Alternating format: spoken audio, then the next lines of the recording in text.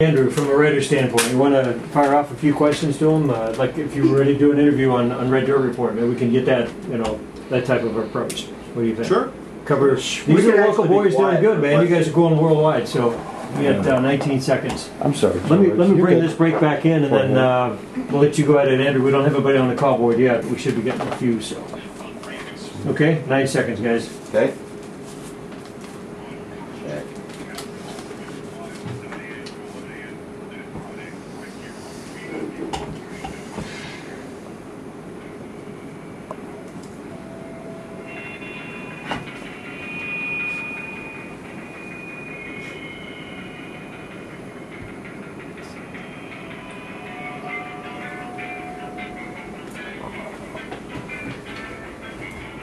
You are listening to Radio Free Oklahoma here on We the People Radio Network.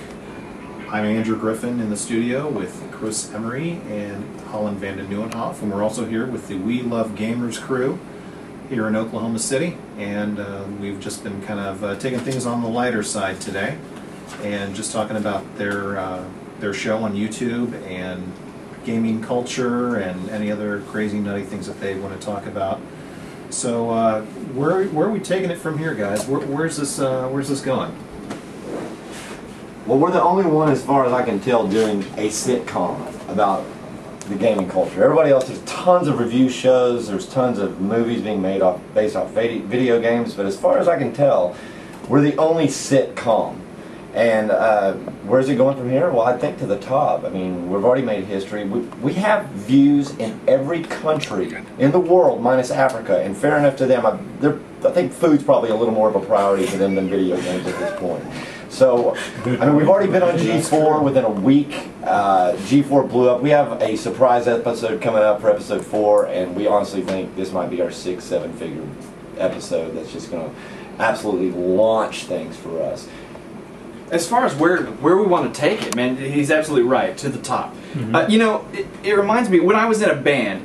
You know, to get signed onto a major label, you had to sell at least ten thousand copies of your record by yourself.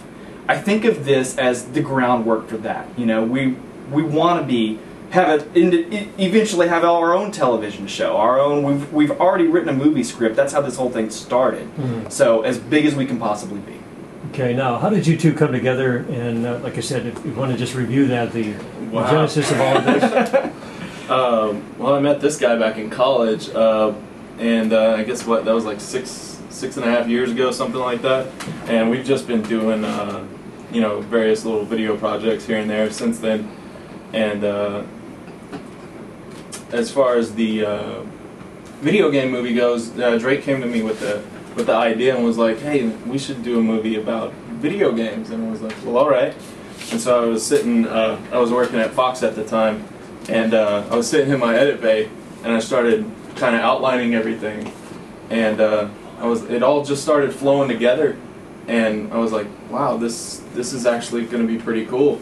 And it took us about three and a half, four months to write it, and we got done with that, and uh, I sent off a bunch of scripts to different uh, lit agents just blindly, Mhm. which you're not supposed to do, I guess, because I, all I got was hate mail back. But uh, and uh, Drake, learning experience. hey, that's all right. and uh, Drake came up with the idea to start uh, reviewing video games on YouTube, and he did a couple of them. I was like, all right, all right, well, you know, let me help. Let you know, let's do some stuff. And then uh, he came up with another idea about you know beginning of May. And, hey, let's do something a little different. Let's showcase more of our like what we wrote in the script Hmm.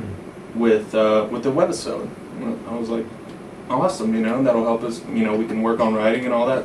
And then everybody just kind of came together and started working really hard, and that's where we are right now. So. This is all Oklahoma talent, correct? Okay, that's Yeah. great. Correct. 'Cause He said everybody just came together. That ain't that ain't entirely, dude. Devin Winter makes this thing run. This guy's the best people met wrangler I've ever seen. For real. I've met For him real. back We got in- lucky and we got we got Elizabeth uh, through through the Craigslist. But man, when we need something, man, Devin's always there to make it happen. This thing wouldn't be.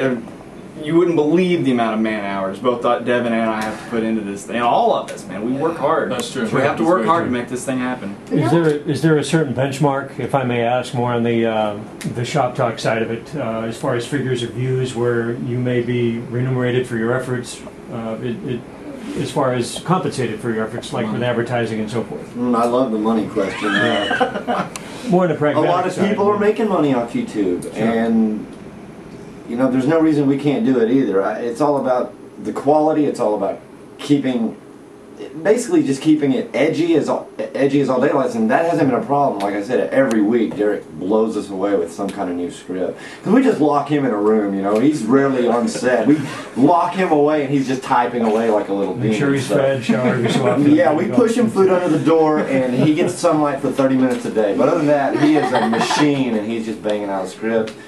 Um, look, I just love being part of the show. I don't know if I help that much. I don't know what I do, but Oh, the, the fact of the matter is, I've known you for So three years. yeah, the fact is, is we're really lucky because the one thing that we've done right from the get-go, and I think it's something that's completely separated us from everybody else on YouTube, we talk back.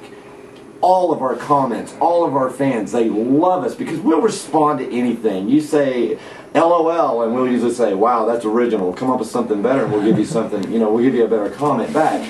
But uh, some of our fans, on some of our comment people, we have conversations about Mactastic Dazzle and Borg- Borgoff 55 and Blink Romance. I mean, we don't even know these guys, but yet we talk about them like we've met them, and yet we only know them by a gamer tag. So, Sure. yeah, we're we're growing. I love it.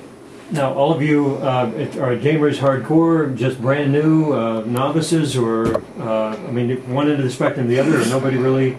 Oh no, I'm the best game player here. No! No!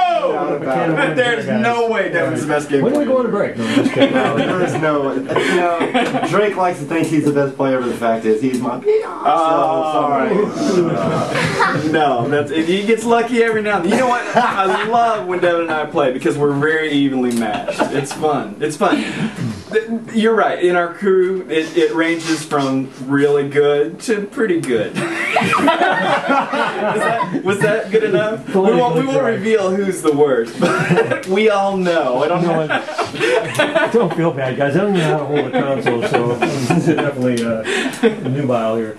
Um, it's Elizabeth. Okay. Now, uh, 24. I mean, your your age range 26. Your age range is at least 10 years. yeah. Yeah, that's that's awesome. Does that work to your advantage as far as her character or writing the script and so forth? Okay. I see the head shifting. but- Yes, yes, yes. Sorry, we had passed the mic over there. It, it does. A, um, you know what? When we were just doing reviews, we've been doing reviews for about seven months, just video game reviews, until we launched this website, this this uh, this sitcom, just a couple weeks ago. Uh, when we were doing video game reviews, we had at max nine percent female viewership. Uh, YouTube now lets you see exactly how your demographics are breaking down, and since we've included her on, we're getting videos that are hitting 27, close to the 30% range. And for a video game channel, that's hard. That's real hard. Huge. Okay. So, what are your thoughts? I mean, are, obviously you're enjoying it. Uh, you you've been on set now. What six weeks? Yes, um, it's been so much fun. I'm getting to play video games, and I love to play video games. I like to kill things a lot. Um, I pwned the crap out of my boyfriend last night. Our first night in our new apartment, we played Call of Duty 4 and on split screen, and I just pwned him so hard. Okay. Um, now, for the listeners, pwned is actually an acronym or a misspelling of Owned. owned. Okay. I owned him. That's what happened. I owned him. Okay. Um, and I'm getting to play more video games than I've probably played. Well, not in my life because I've always played video games. I had Atari, the the original Nintendo Entertainment System. Her homework is to 15 minutes a day to play video games. And- Seriously. Yeah, Twist it's eating my life, and I love it. Um, I, do- I that's all I want to do. I want to sit home and play video games all day. I've got my Wii. I've got the PS3 Retard. that I'm hijacking. It's John's. It's my boyfriend's, but I play it more than he does now because I'm always on Call of Duty, just just killing. And um, I'm having so much fun, so much fun, and I'm getting I'm becoming a better video game player because of it.